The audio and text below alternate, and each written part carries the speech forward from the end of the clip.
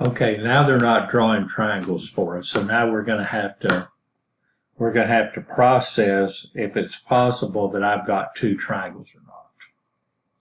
Because it's always gonna be possible that I have two triangles. Okay, so let's draw that one. Maybe won't need as much room over here if there's two. And then let's draw the obtuse one. So on, on all of these problems, go ahead at the beginning and draw two of these. Always put the angle at this corner. Oops, I drew that backwards. Yeah. No, it's okay. I mean, it's not to scale because these are obtuse, but it doesn't matter. That's what freaks me out right there for a second. Let's see, that's angle A, little a is over here. Always put B on this other side like that. Because if there's two triangles, the second one's going to look like this. Of course, think about that. That angle can't be obtuse. If it is, you know, if it's bigger than 90, I'm going to know there's not two triangles on this one. So let's go solving this one first. Okay, so let's find side x over here.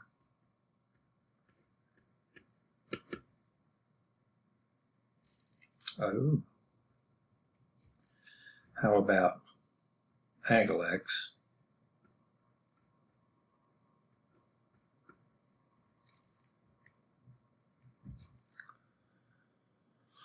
Okay, so I'm gonna blow this up a little bit. There we go. Okay, so think about this. This is going to be 28 sine x, which means we will wind up dividing by the 28 in a minute. 15. 15 sine of 110 divided by 28. So if this is bigger than 1, the triangle doesn't even exist and we can say no solution. 25 sine 110 divide by 28. Okay, it wasn't bigger than 1. Second sine of the answer, by the way, answer's right there. All you got to do is second shorty negative and you'll be good. There's the angle. Okay, so this angle is 30.22, 56, 4, 6, 6, 2. Okay. Now we have this little rule that that's why you always want to draw these the same way. This angle right here and this angle right here are supplementary.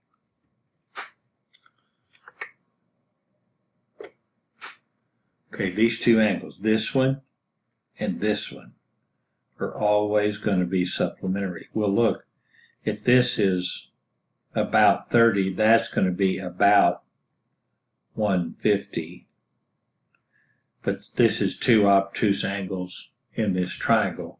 So yippee skippy, there's not two triangles on this one. All I got to do is finish this one up and I'm in good shape. And since I know this angle and this angle, I can subtract and find that one. Okay, so let's do that. Let's go grab that angle. Here's the other angle up here, 39 77, 43, 53, 38. So that's pretty good.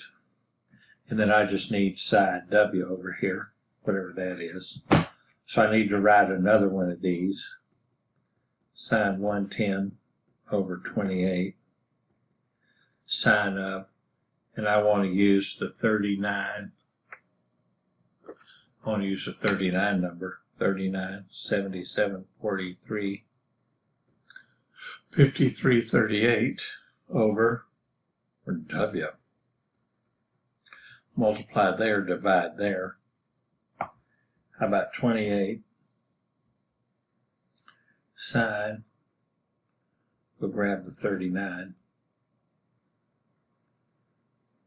Divide that by sine of a hundred and ten. And W is nineteen oh six three zero eighty five thirty eight.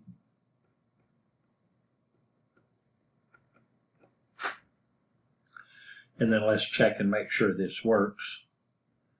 So just do all of them. Do sine of one ten divide by twenty-eight, that's, that's decimal. Do sine.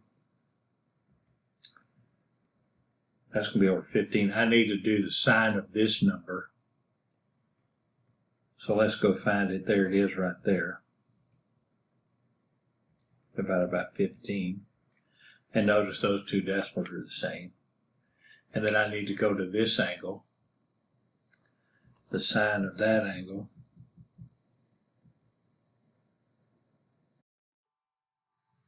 Divided by, and then I want that 19 number.